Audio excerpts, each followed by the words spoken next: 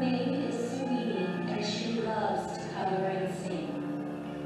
Now she lays fitfully in my arms, her energy drained by malaria, and her eyes dulled by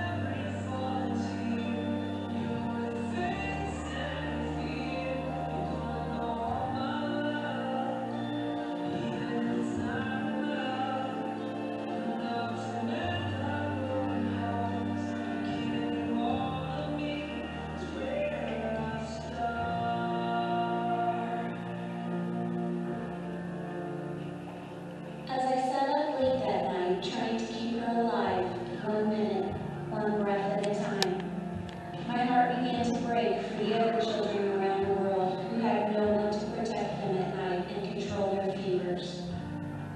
Who would hold them? Who would sing to them?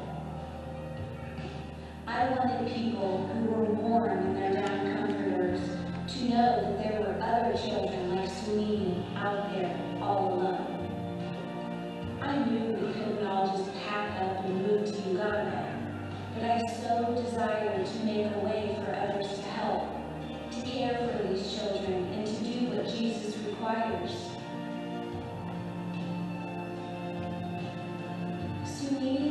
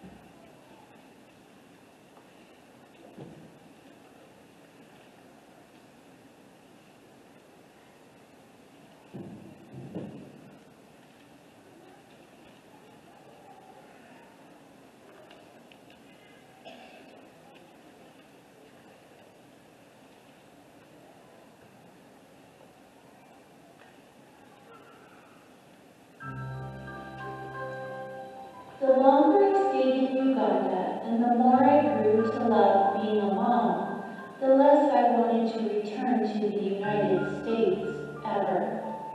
But the amazing life I loved didn't come without a cost, and I mean an actual cost. The work I was doing in Uganda cost money,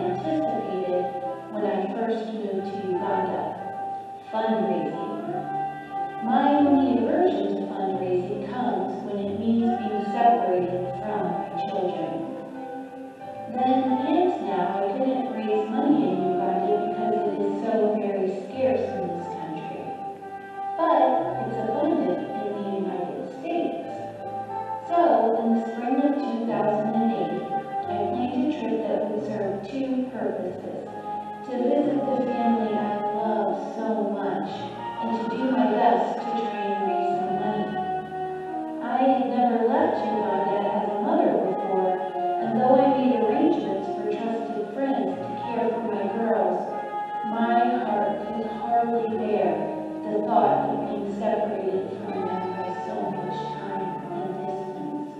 To my surprise, I discovered that I no longer fit in where I used to be so comfortable. I didn't live in this world anymore. I was relieved or overjoyed to be in it again, and I wasn't comfortable. A tiny part of me was so happy to collapse into the arms of my bigger heart felt so out of place. By this time, the ministry was well on its way to becoming a legal entity.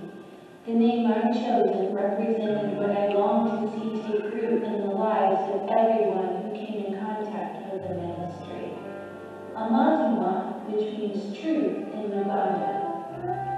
One day while I was in the States, I received a call from Christine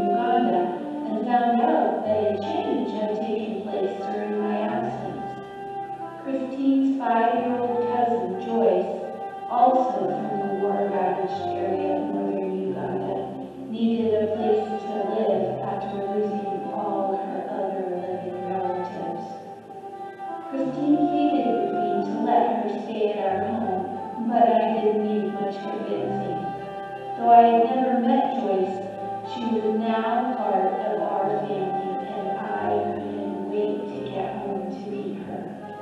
I longed to take her into my arms and explain to her that I would be there soon and that I would love and care for her forever.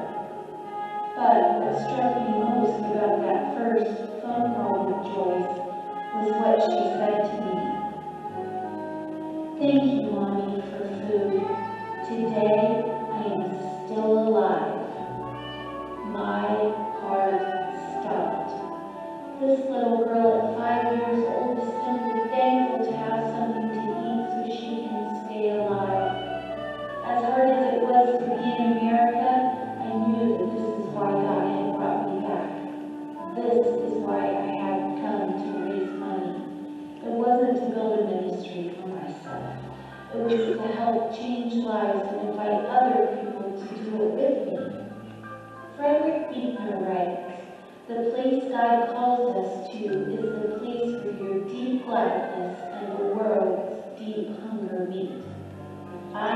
been more than happy all my life in my home in Tennessee, but my deepest gladness